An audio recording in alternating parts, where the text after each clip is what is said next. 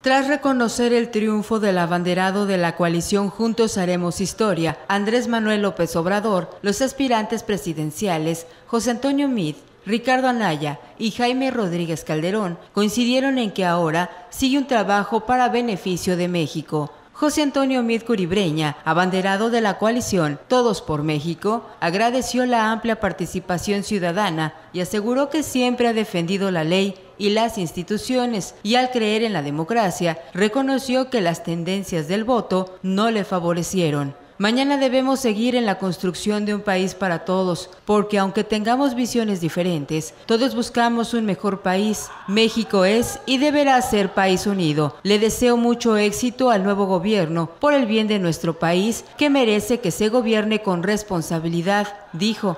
Por su parte, en un mensaje de seis minutos, el candidato de la coalición por México al frente, Ricardo Anaya, reconoció que las encuestas no lo favorecen, por lo que sostuvo una llamada telefónica con Andrés Manuel López Obrador, a quien felicitó. En mensaje a medios de comunicación, reiteró que el gobierno federal usó de las instituciones para afectar su campaña, pero estos hechos no manchan el triunfo del tabasqueño. Arropado por los líderes nacionales del PAN, PRD y Movimiento Ciudadano, indicó que defenderá cada uno de los triunfos estatales y municipales, ahí donde la gente les dio el triunfo, y serán una oposición de peso en el poder legislativo, sin la cual no hay democracia que valga.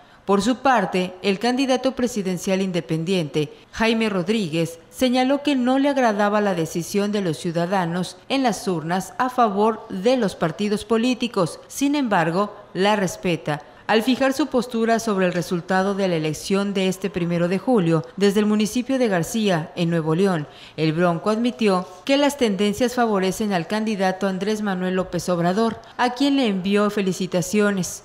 En un mensaje ante los medios de comunicación, Rodríguez Calderón refrendó el compromiso hecho durante su campaña respecto a que ofrecería su apoyo al ganador de la contienda y trabajaría con él por el bien del país. Noticias TVT.